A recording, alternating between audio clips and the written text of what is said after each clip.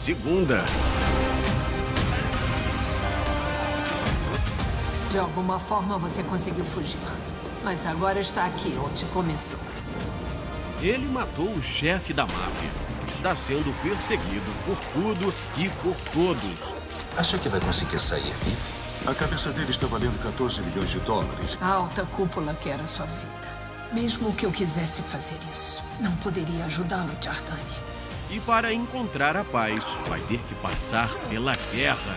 Logo depois de Todas as Flores, John Wick 3, Parabellum.